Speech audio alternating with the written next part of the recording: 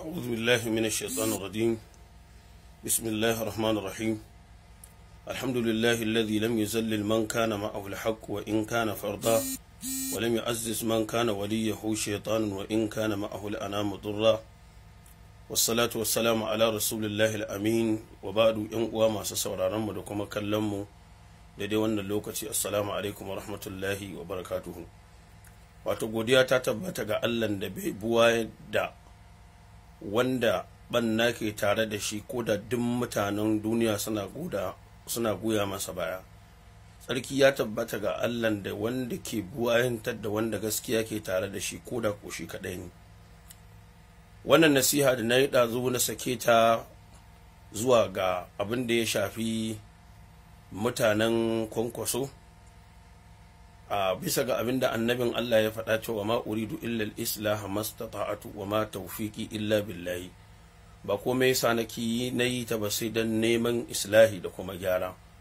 Akwai honorable alhaji abdullahi rogo wanda rogo garin mahaifiyata ne. Na kira shi domin mai magana da shi kafin wannan lokacin. Allah bai sa ya ɗauki waya ba.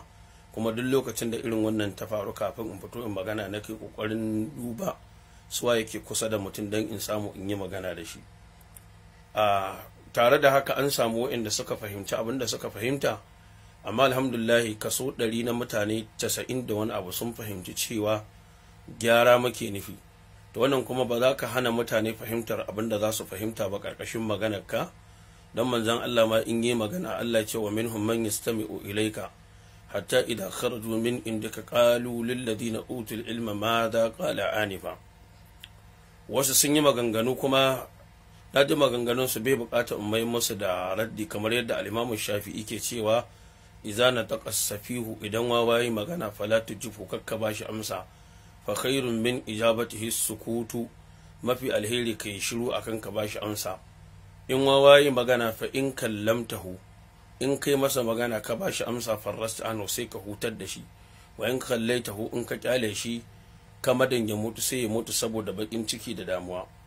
Abu na uku ko na biyu a ƙarƙashin wannan mai girma kwankwaso da waɗanda suke bayan su wanda na yi kira masu hankalin cikinsu ne ya kamata su fahimci ko da suna ganin wani malami a ɓangaren izala ko a ɓangaren ɗariƙa ya musu ba daidai ba to su sani cewa suna da ɗimbin waɗanda suke goyon bayan su kuma suna da alaƙar da izalar in ɗan izala ne suna da alaƙa da ɗariƙar in ɗan ɗariƙa ne.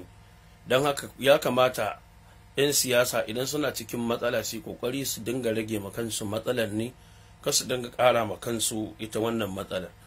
Yanzu misali ku kalla ku gani shi mai girma kwankwaso a daidai 'yan kwanakin nan a jiya ya ɗibi tarin tirin 'ya'yan talakawa ya tura su karatu sun fita waje.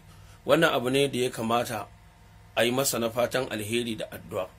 Ta ma faruwar wannan abin ya sa maimakon ya zamo abin da ya yi na alheri shi ake yada sai ya zamanto wannan abin shi yake yaɗuwa ba wancan abin da suka yi na alheri ba. Wannan shi ne abin da muke so su magoya bayan su fahimta su ainihin wato gane.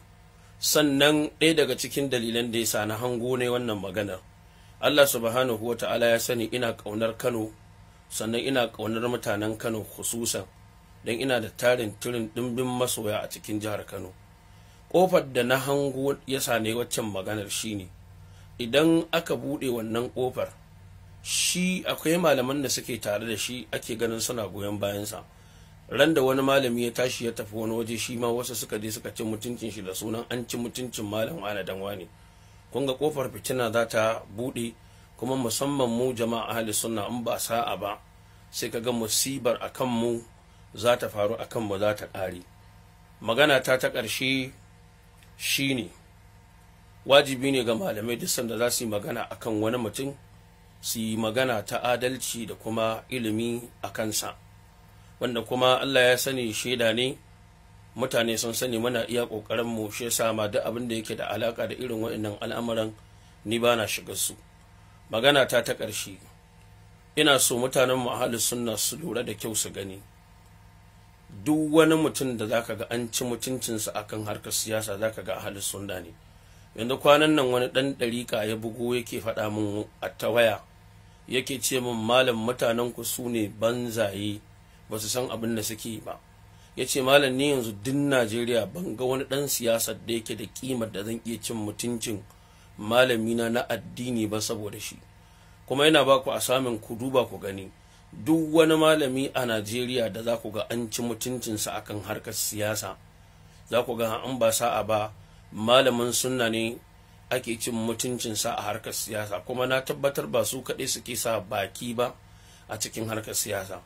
Da ina kira ga dukkan ɗan da yake na sunna ne halattaccen ɗan sunna to ya kamata ya zamanto in yana siyasa aƙidarsa ta sunna tafi masa muhimmanci a wajensa sama da aƙidarsa ta siyasa. Wannan shine kiran da muke yi da haka muna roƙon Allah subhanahu wa ta'ala ka zaunar da ƙasar mu lafiya wanda kuma yake ganin an saba masa an masa ba daidai ba ya yi haƙuri Allah ta'ala ya tsare mu daga cin mutuncin musulmi yan uwanmu.